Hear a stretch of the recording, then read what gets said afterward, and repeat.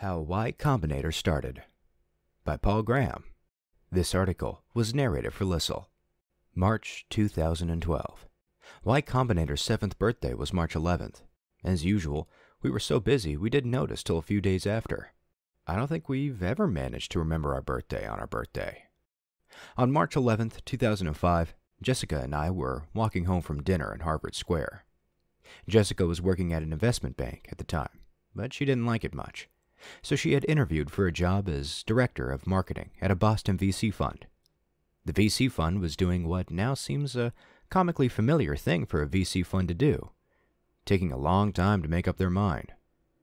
Meanwhile, I'd been telling Jessica all the things they should change about the VC business. Essentially, the ideas now underlying Y Combinator. Investors should be making more, smaller investments.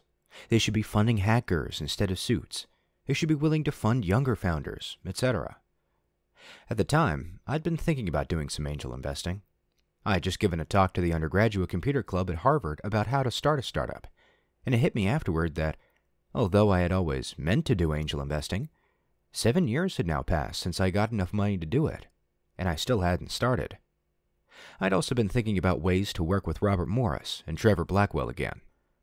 A few hours before, I'd sent them an email trying to figure out what we could do together. Between Harvard Square and my house, the idea gelled. We'd start our own investment firm, and Jessica could work for that instead. As we turned onto Walker Street and decided to do it, I agreed to put a hundred thousand into the new fund, and Jessica agreed to quit her job to work for it. Over the next couple of days, I recruited Robert and Trevor, who put in another 50k each. So YC started with $200,000. Jessica was so happy to be able to quit her job and start her own company that I took her picture when we got home. The company wasn't called Y Combinator yet. At first, we called it Cambridge Seed. But that name never saw the light of day, because by the time we announced it a few days later, we'd changed the name to Y Combinator. We realized early on that what we were doing could be national in scope, and we didn't want a name that tied us to one place. Initially, we only had part of the idea, we were going to do seed funding with standardized terms. Before YC, seed funding was very haphazard. You'd get that first 10K from your friend's rich uncle. The deal terms were often a disaster. Often, neither the investor nor the founders nor the lawyer knew what the documents should look like. Facebook's early history as a Florida LLC shows how random things could be in those days. We were going to be something there had not been before a standard source of seed funding. We modeled YC on the seed funding we ourselves had taken when we started ViaWeb.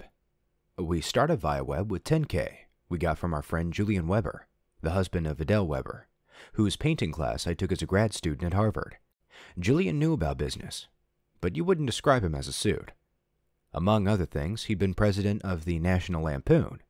He was also a lawyer and got all our paperwork set up properly. In return for $10,000, getting us set up as a company, teaching us what business was about, and remaining calm in times of crisis, Julian got 10% of ViaWeb. I remember thinking once what a good deal Julian got.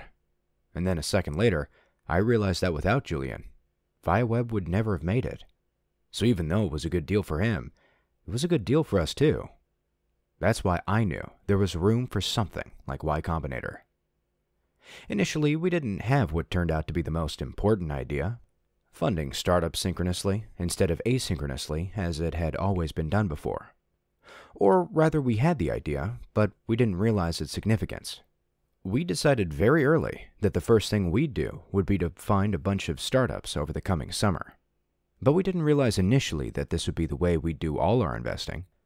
The reason we began by funding a bunch of startups at once wasn't that we thought it would be a better way to fund startups, but simply because we wanted to learn how to be angel investors, and a summer program for undergrads seemed the fastest way to do it. No one takes summer jobs that seriously. The opportunity cost for a bunch of undergrads to spend a summer working on startups was low enough that we wouldn't feel guilty encouraging them to do it. We knew students would already be making plans for the summer, so we did what we're always telling startups to do. We launched fast. Here are the initial announcement and descriptions of what was at the time called the Summer Founders Program. We got lucky in that the length and structure of a summer program turns out to be perfect for what we do. The structure of the YC cycle is still almost identical to what it was that first summer. We also got lucky in who the first batch of founders were. We never expected to make any money from that first batch.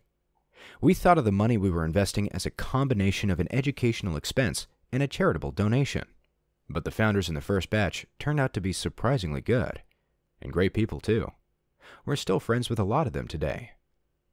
It's hard for people to realize now how inconsequential YC seemed at the time. I can't blame people who didn't take us seriously, because we ourselves didn't take that first summer program seriously in the very beginning. But as the summer progressed, we were increasingly impressed by how well the startups were doing. Other people started to be impressed too. Jessica and I invented a term, the Y Combinator effect, to describe the moment when the realization hit someone the YC wasn't totally lame. When people came to YC to speak at the dinners that first summer, they came in the spirit of someone coming to address a Boy Scout troop. By the time they left the building, they were all saying some variant of, wow, these companies might actually succeed. Now, YC is well enough known that people are no longer surprised when the companies we fund are legit, but it took a while for reputation to catch up with reality. That's one of the reasons we especially like funding ideas that might be dismissed as toys because YC itself was dismissed as one initially.